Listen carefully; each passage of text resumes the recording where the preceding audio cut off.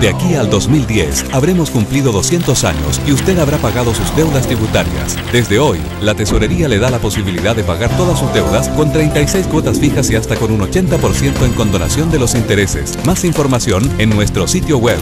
Nuestro tesoro son los chilenos. Tesorería General de la República. Gobierno de Chile.